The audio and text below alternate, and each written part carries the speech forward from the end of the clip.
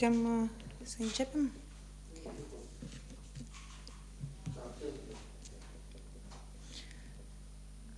Bună ziua, stimați concetățeni, stimați reprezentanți ai mass media. Noi vă mulțumim foarte mult pentru interesul dumneavoastră acordat briefingului nostru. Noi înțelegem că astăzi mai mulți din dumneavoastră și cetățeni și uh, reprezentanții presii o să ne întrebați și o să fiți cointeresați în poziția noastră a fracțiunii Partidul Ușor în privința evenimentelor care s-au întâmplat recent sau zilele acestea și care sunt legate de Procuratura Generală și de domnul Stoianoglu. Noi de mai multe ori v-am uh, comentat și am spus că, având în vedere conflictul de interese existent între membrii fracțiunii noastre și domnul Stoianoglu, foarte puțin comentăm și nu intrăm profund în această temă ca să nu fie pe urmă careva speculații. Cu toate acestea, noi, ca de obicei, în mod tradițional, venim anume cu soluții, nu doar cu comentarii. Și astăzi, din numele fracțiunii Partidului Șor și din numele liderului nostru, domnului Ilan Șor, am onoare, încă o dată, să mă adresez la societate și la toți deputați din legislativul actual și să propun inițiativă legislativă care a fost lansată încă în anul 2019 de fracțiunea noastră privind alegerea procurorului general de popor. Candidaturile pot fi diferite, dar cel mai important lucru este ca anume locuitorii Republicii Moldova, anume oamenii noștri, o să decide cine o să fie procuror general. Noi credem că doar așa această funcție și această instituție poate să devină una apolitică, așa cum ea trebuie să fie. Și din păcate, zilele acestea, noi asistăm la mai multe evenimente care totuși au tentă politică, nu juridică, după părerea noastră, sau cel puțin ea poate să fie interpretată așa. Ca să nu dăm posibilitatea pentru mai multe interpretări și ca deciziile în Procuratura Generală, ca și în alte domenii și în alte instituții, mai ales din justiție, că sunt luate de politicieni sau în interesele politice, trebuie în mod obligatoriu să luăm această decizie importantă pentru țara noastră. Cu toții înțelegem că scandalul creat în jurul uh, suspendării din funcție și ulterior reținerii procurorului general, domnul Stoianoglu, afectează grav imaginea Republicii Moldova pe plan intern și extern și sporește și mai multă neîncredere în justiție și în procesele democratice. Indiferent din ce parte privești faptele, un lucru este cert. Alegerea și demiterea din funcția procurorului general a fost și rămâne un subiect extrem de sensibil și controversat și vor exista mereu motive de a pune la îndoială corectitudinea acestor procese. Atât timp cât factorul politic și puterea în particular vor avea un rol decisiv în acest sens, vor exista dubii și semne de îndoială față de independența și corectitudinea acestei instituții vitale pentru funcționarea statului de drept.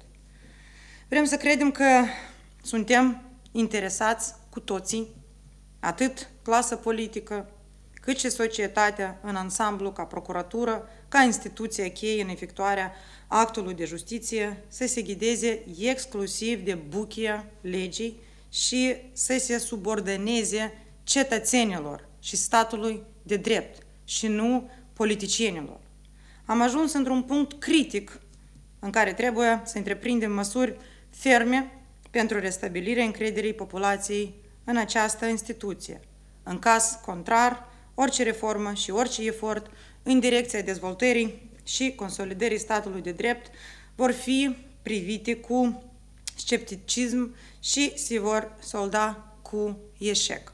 Am văzut că toate mecanismele aplicate până acum în ceea ce privește desemnarea procurorului general, indiferent că vorbim despre concursuri publice sau vot politic, au lăsat impresia în societate că totul este o farsă și că procurorul general rămâne unealtă în mâinile grupurilor de interese și face justiție selectivă.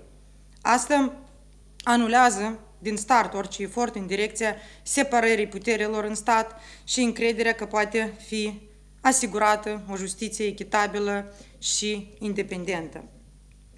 Noi, Partidul Politic Șor, am considerat mereu că atât timp cât politicienii vor fi lăsați să decidă cine și cum trebuie să facă justiție în Republica Moldova, nu vom avea nici justiție, nici dreptate, nici încrederea în statul de drept. Pentru că politicul este mereu tentat să folosească puterea în nume propriu iar pentru asta va încerca mereu să-și subordoneze Procuratura Generală. Din păcate, și astăzi asistăm la o încercare evidentă de a influența politic ceea ce se întâmplă în domeniul procuraturii și în domeniul justiției. Iată de ce, pentru a rupe acest cerc vicios și pentru a le reda oamenilor încrederea în instituția procuraturii, singura soluție corectă și eficientă este ca procurorul general să nu mai fie ales de politicieni și de oamenii sistemului, ci direct de către toți cetățenii. Oamenii trebuie să aibă un cuvânt de spus atunci când se decide cine este cel care le va face dreptate și să poată participa direct la efectuarea actului justiției. Doar atunci ei o să fie sigur că deciziile luate sunt adevărate și nu sunt motivate politic. În plus, insistăm că la acest post să poată să candideze diferite candidaturi, așa cum deja am menționat. Și dar oamenii o să fie factorul decisiv care o să decidă cine va fi această persoană în funcție cheie de stat în justiție. Procurorul general trebuie să se subordoneze cetățeanului și să depindă de votul lui, nu de cel Parlamentului, Guvernului, președinției, dacă vrem ca interesele cetățenilor să prevaleze în efectuarea actului de justiție. Practica alegerii directe a procurorului general și judecătorilor este aplicată în societăți foarte dezvoltate și și-a demonstrat eficiență în timp. Așa se face inclusiv în Statele Unite, care sunt considerate leagănul democrației și un etalon al statului de drept. Deci, inițiativa noastră are modelul cel mai sau unul din cele mai bune. Noi am venit cu această inițiativă în anul 2019 cu îndemn ca mai multe fracțiuni și mai mulți deputați să o semneze și putem să vă spunem că am acumulat 25 de semnături. Am reiterat poziția noastră și în anul 2020, iar acum în anul 2021 a fost înregistrată încă o inițiativă legislativă în acest sens, ca să fie creat un grup de lucru, o comisie specială în care să participe toți deputați, toate fracțiunile, specialiști din domeniul și toți cei care vor uh, să fie implicați în acest proces. Deci dăm posibilitatea ca fiecare fracțiune să-și expună părerea uh, pe marginea acestui proiect de lege foarte important. Acum venim uh, cu un îndemn și mai puternic pe fundalul evenimentelor, o să mă repet, ca procurorul general să fie ales de popor. Noi am discutat acest lucru cu mai mulți reprezentanți ai societății civile cu oamenii din diferite localități. Toată lumea vrea să știe și să participe la alegerea procurorului general și să facă ordine în acest domeniu. Anume din acest motiv, noi, fracțiunea Partidului Șor, venim astăzi în fața dumneavoastră și executăm ceea ce ne-a spus oamenii care ne-au delegat și nu doar pe noi în Parlament, ca să transmitem deputaților această idee, această inițiativă și faptul că poporul își dorește să aleagă procuror general. Noi vă mulțumim foarte mult pentru atenție și sperăm că toate fracțiunile și toți deputați va susține această inițiativă legislativă care o să ne aducă pe noi toți, pe Republica Moldova, pe justiția din țara noastră, pe o filă nouă și într-o eră nouă în istoria țării noastre și mai ales în justiția țării noastre. Vă mulțumesc!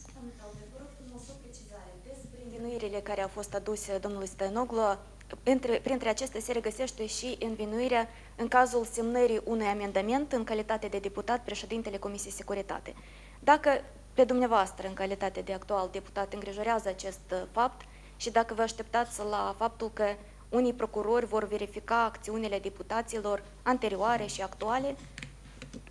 Pe mine mă îngrijorează, ca și pe fracțiunea noastră, tot ce se întâmplă în diferite domenii, inclusiv în zilele acestea în domeniul justiției și uh, ca să comentăm ceva, trebuie să analizăm foarte profund.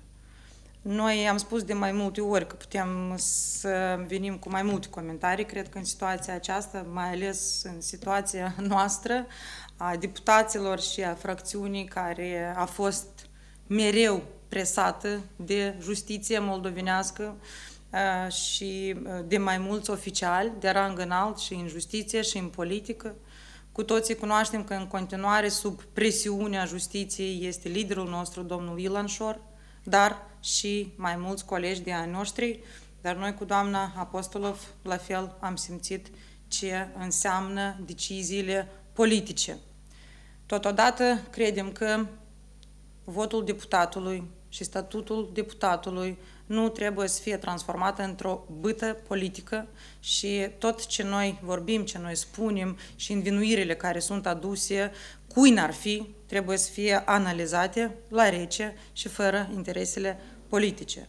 Așa că ceea ce ține de întrebare anume legată de domnul Stoianoglu, noi o să continuăm să ne abținem, într-un fel, de la comentarii, ca să nu existe speculații pe seama conflictului de interese, care așa și există. Ceea ce ține de alte subiecte, vreau să uh, vă declar că Ilan Șor și fracțiunea noastră, noi nu ne temem de nimic. Dacă ceva o să fie verificat legat de activitatea noastră sau orice decizie sau uh, careva acțiuni făcute, întreprinse de noi, noi suntem gata și lasă ele să fie verificate. Important că orice acțiune întreprinsă fie legată de noi, fie de alți deputați, fie de orice cetățean, să fie bazată pe a, anume fapte juridice, dar nu pe deciziile politice. Ceea ce noi am văzut deja de mai multe ori, 30 de ani la rând, show-uri și a, diferite presiuni pe baza aspectului dat. Anume din acest motiv, încă o dată, mă repet, și chiar sunt onorată să ies cu această temă astăzi, că oamenii din țara noastră, poporul moldovenesc, trebuie să-și aleagă procuror general, ca noi să fim siguri că el lucrează anume în interesele statului și locuitorilor noștri. Mersi foarte mult! O zi bună tuturor!